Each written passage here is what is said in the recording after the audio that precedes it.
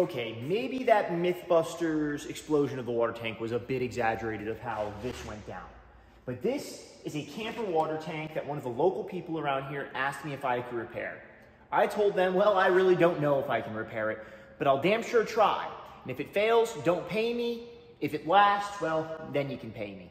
So what we're gonna do today is try to figure this out. I'm in Bob's shop that he so generously let me use. But first, just like with any good aluminum project, I need to clean the surface, which means acetone and a stainless steel wire brush. But first things first, I think this thing has got a bunch of crap in it still because when I move it, it makes some jiggling noises, kind of like a maraca. But uh, so let's see what the hell is in this thing. Look good.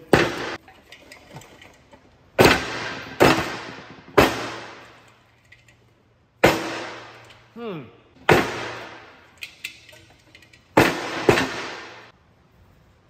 Hmm. No, I'm just kidding. I'm just kidding, kids. It's just calcium that came out of the water tank. And drugs are bad, okay? All right. I mean, unless you do the right drugs. Anyway, so all that calcium that came out of this thing definitely does not give me the warm and fuzzies. So what I'm gonna do is I'm just gonna do my best, just like I always do. They say you should wear gloves with acetone, but I watch my wife basically take a bath in this stuff every time she strips her nail polish, so I think I'll be okay. That doesn't mean you shouldn't wear gloves.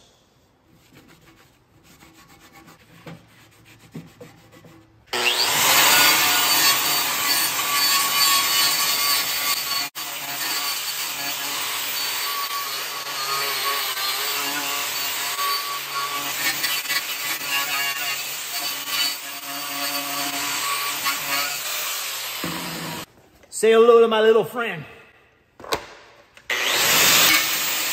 I firmly believe that no matter what material you're welding, you should grind the crack all the way out and get to brand new material. If you have a different opinion, leave in the comments below.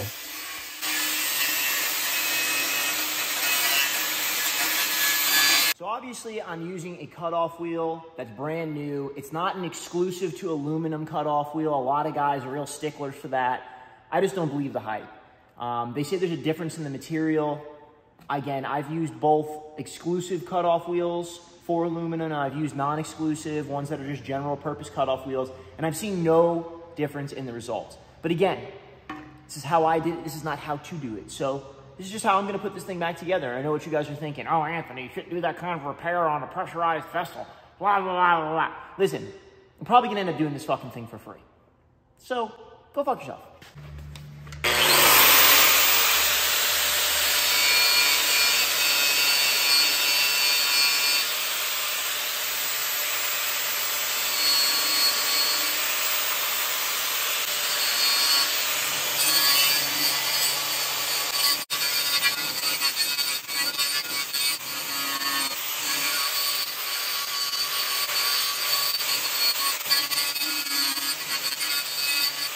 Really like these Perf flap and Brillo pad combination discs. They're great for polishing. They're really just great overall discs for a lot of things. I'm definitely misusing the shit out of it on this project, but that's okay. I mean, it's my disc, so. And they're not sponsoring me or anything, so. But uh, Perf, if you want to sponsor me, holler. All right, and now one more time, I'm just gonna go over it with some more acetone. Try not to get any of the pieces of the I like these blue shop rags over a rag, like a regular cloth rag, because I find the cloth rag likes to get hung up in the material.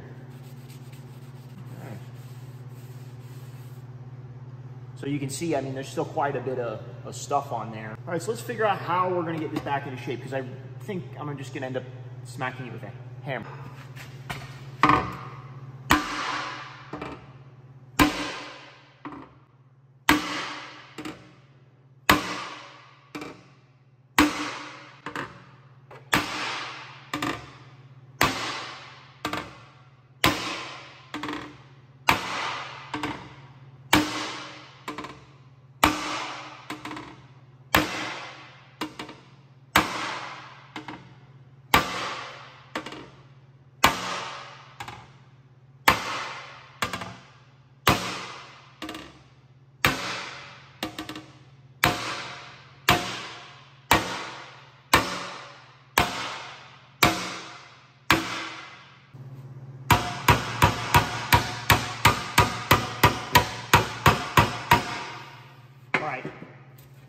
What I'm gonna do is because this half seems to be pretty much right, I just need to, I think, stick a cutoff wheel in here and open this back up and then re, re-acetone and re-flap this this here. Um, I think what I need to do is I'm gonna weld from here to here. And then I'm going to fix, hammer this back down and then weld from here to here. And then we're gonna fix everything else that I see on this thing.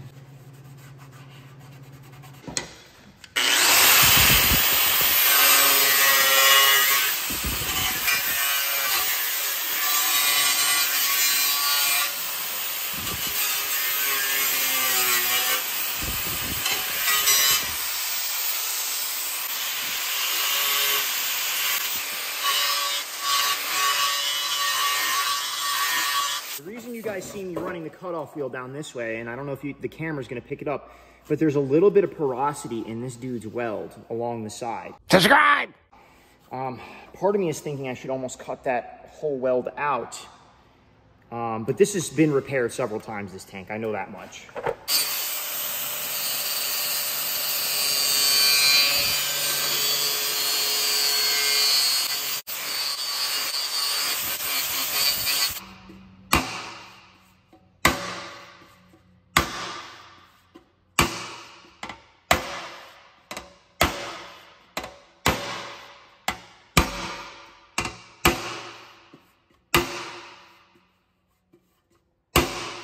Okay, so like I said before, I'm gonna go ahead and weld this section up to here, and then I'm going to finish this side out. I may even do these in the meantime, and then maybe even our whole long weld we got going on over here. But I'm gonna go ahead and acetone this thing one more time. As any halfway decent aluminum guy knows, you should always acetone down your aluminum welding rod.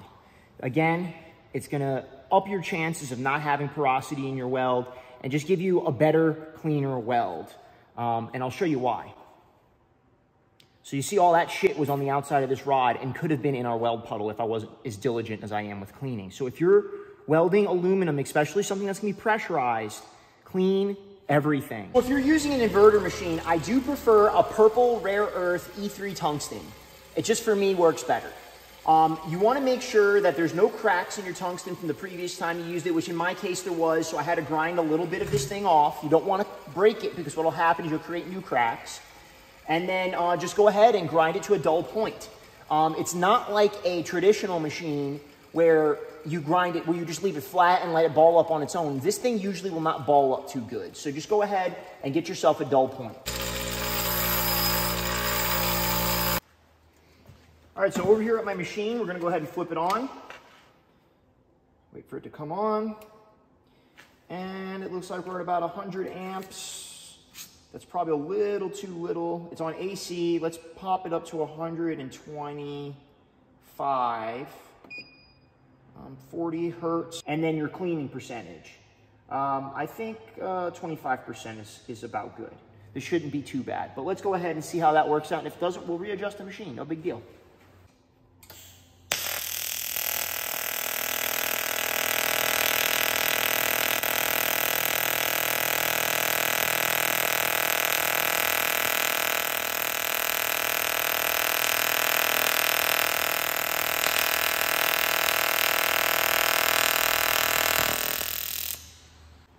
Okay, so there's definitely a lot of shit coming up in this thing. You can see we're getting it to keyhole pretty good, so that looks good to me. Um, I'm probably a little too hot, keyholing a little bit too much. But as you can see, there is just a ton of shit coming out from the back of this weld, and there's not a whole lot I can do. If I was back in Florida, what I would do with this thing is I would probably fill it up with some sort of media and let it tumble for a while. You know, I don't know how I would do that, but I would probably try to figure something out like that. But here I have limited resources. So what I'm going to do is I'm going to wire wheel this out and I'm going to try to get the best weld that I can get. And like I said, if this doesn't work, it's going to be free. So whatever, no harm, no foul.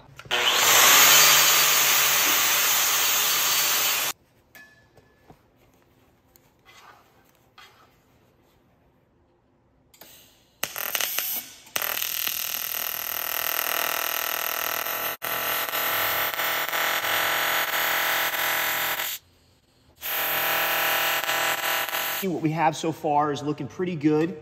um, when I heat it up right here, a new crack opened up right in the seam. So what we're gonna do is we're gonna finish this repair and then we're gonna go ahead and we're gonna grind this out because it looks to me, whoever previously repaired it did not get a full penetrating weld, which is vital on a pressurized uh, vessel like this. So what I'm gonna do is I'm just gonna go ahead, grind that out, but first I need to finish this weld. It should move a little easier now that it's hot. So I'm just gonna give her a little caparoonie. She's almost back in, she's almost back in shape.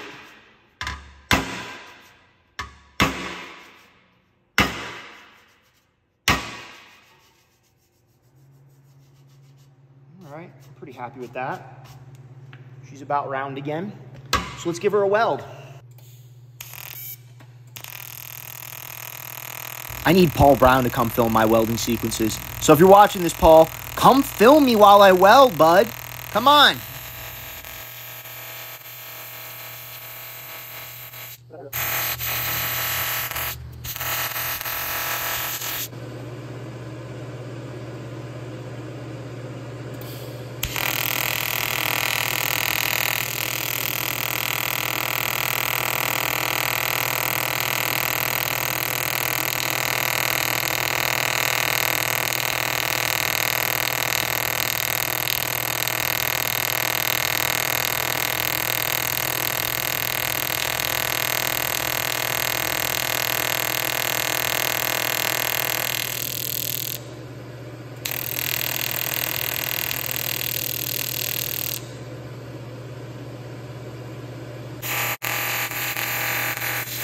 Okay, so my main weld there looks pretty all right.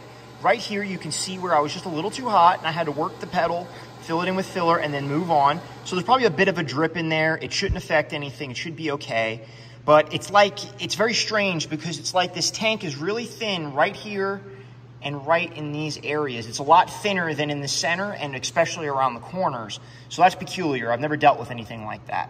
But now we're gonna go ahead and we're gonna grind this out because as you can see, the old weld that whoever last tried to fix this thing did not fully penetrate. So we're gonna go ahead, we're gonna grind this out, all of this, probably till, probably till there, because this looks like the factory weld, which isn't that hot looking either. And we'll go ahead, grind that out, and then we'll go ahead and weld it up.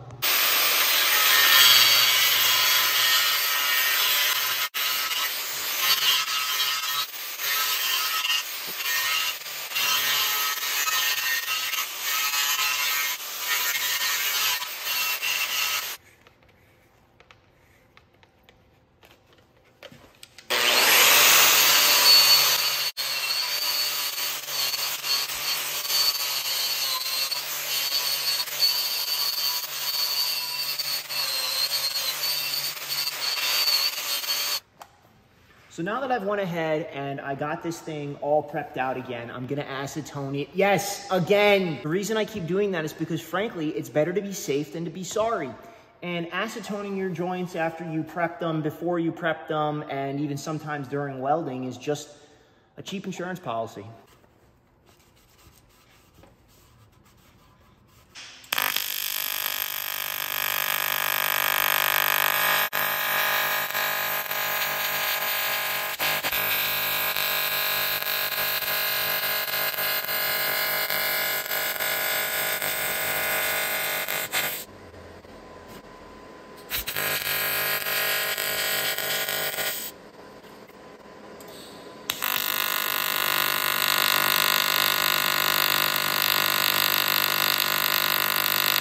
I'm not even really sure if welding uphill in this application matters, but I did it anyway, just in case.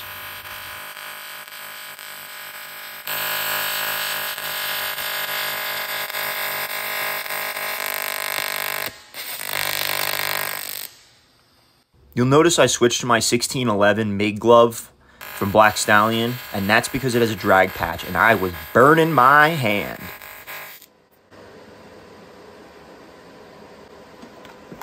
Gonna step up a filler rod size because it's like I'm having to jam like a quarter inch of rod in there each time I'm moving. So we'll step it up a size.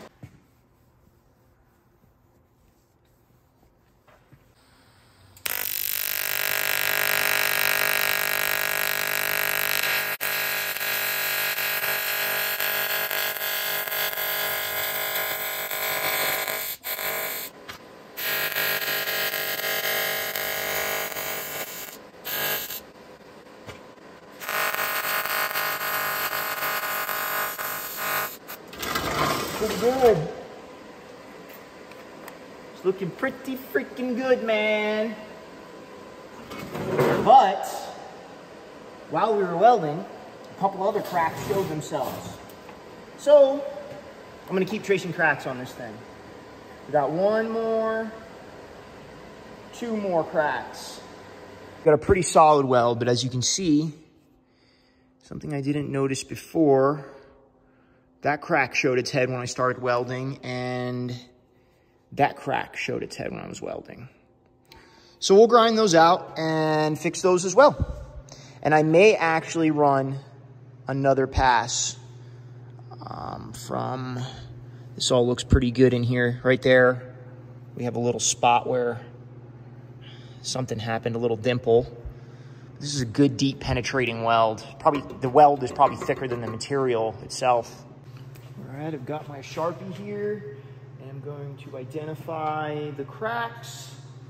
And I'm gonna give it a once over. I'm gonna hit this with the wire wheel real quick before I do anything else.